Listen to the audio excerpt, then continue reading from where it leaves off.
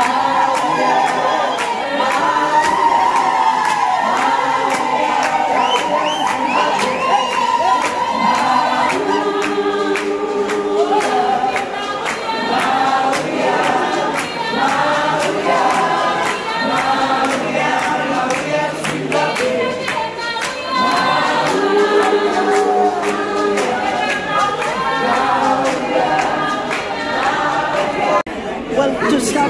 We have come uh, to really um, inspire, to inspire everyone here in Zim, those that are, are doing the very same thing, the ministry um, as artists.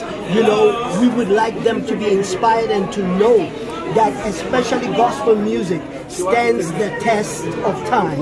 And so they don't have to give up. They have to focus and know as to what lane God has put them in. And one other thing is that we have come as a, a as an ensemble and in letting them know that we can stand together in one uh, uh, stage or platform and uh, uh cover each other support each other and complement one another instead of just competing with one another. And we have come to be a blessing in Zimbabwe. And, and as you can see us, God has gifted us, has blessed us with talents and gifts. And we want Zimbabwe to know there's hope for tomorrow.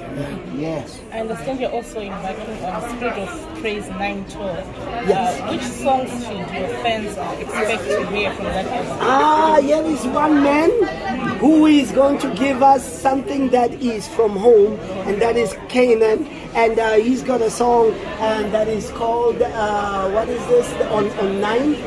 Um, on 9. Well, I mean, you, you know, he is from here and now he's coming to be a blessing